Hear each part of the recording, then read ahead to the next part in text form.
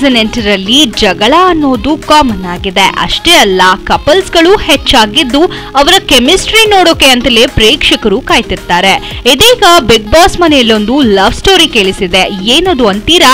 ಹಾಗಿದ್ರೆ ಈ ಸ್ಟೋರಿ ನೋಡಿ. ಪ್ರಿಯಾಂಕಾ ತಿಮ್ಮೇಶ್ ವೈಲ್ಡ್ ಕಾರ್ಡ್ ಮೂಲಕ ಎಂಟ್ರಿ ಕೊಟ್ರು. ಮೊದಲನೇ ಇನ್ನಿಂಗ್ಸ್ನಲ್ಲಿ ಯಾರ ಜೊತೆಯೂ ಬೆರೆಯದೆ ವೀಕ್ ಆಗಿದ್ರು. ಆದ್ರೆ ಎರಡನೇ ಇನ್ನಿಂಗ್ಸ್ನಲ್ಲಿ ತಮ್ಮ ಆಟದ ಶೈಲಿ ಬದಲಿಸಿದಲ್ಲದೆ ಮನೆಯಲ್ಲಿ ತಾವು ಇದ್ದೇವೆ ಅನ್ನೋದನ್ನ ತಿಳಿಯುವಂತೆ ಮಾಡಿದ್ದಾರೆ.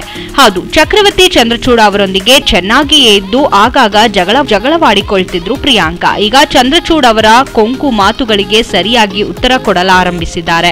ಈ ಮೂಲಕ ಕಾಲು ಕೆರೆದು ಜಗಳಕ್ಕೆ ಬಂದರೆ ಅಳುತ್ತಾ ಸುಮ್ಮನೆ ಕೂರೋಲ್ಲ ಅನ್ನೋದನ್ನ ಪ್ರೂವ್ ಮಾಡಿದ್ದಾರೆ. ನಿನ್ನೆ ತಮ್ಮ ಲವ್ ಸ್ಟೋರಿ ಒಂದನ್ನು ಬಿಚ್ಚಿಟ್ಟಿದ್ದಾರೆ. ಬಿಗ್ ಬಾಸ್ ಕೊಟ್ಟಿದ್ದ ಒಂದು ಸುಳ್ಳು ಎರಡು ನಿಜ ಟಾಸ್ಕ್ನಲ್ಲಿ ಪ್ರಿಯಾಂಕಾ ತಮ್ಮ ಫೇಸ್ಬುಕ್ ಪ್ರೇಮ ಕಥೆಯ ಬಗ್ಗೆ ಹೇಳಿಕೊಂಡಿದ್ದಾರೆ. ಒಬ್ಬರು ಫೇಸ್ಬುಕ್ನಲ್ಲಿ ಪ್ರಿಯಾಂಕಾಗೆ ಪ್ರಪೋಸ್ ಮಾಡಿದ್ರಂತೆ. ಒಂದು ವರ್ಷದ ನಂತರ ಆ ವ್ಯಕ್ತಿಯನ್ನು ನೋಡಲು ಪ್ರಿಯಾಂಕಾ ಹೋಗಿದ್ರಂತೆ.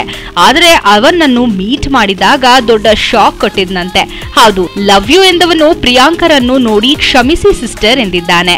ಅವನ ರಿಯಾಕ್ಷನ್ ನೋಡಿ ಪ್ರಿಯಾಂಕಾಗೆ ಏನ್ ಹೇಳಬೇಕು ಅಂತ ಗೊತ್ತಾಗ್ಲಿಲ್ವಂತೆ. ಈ ವಿಚಾರವನ್ನು ಪ್ರಿಯಾಂಕಾ ಸ್ಪರ್ಧಿಗಳ ಮುಂದೆ ಹಂಚಿಕೊಂಡಿದ್ದಾರೆ.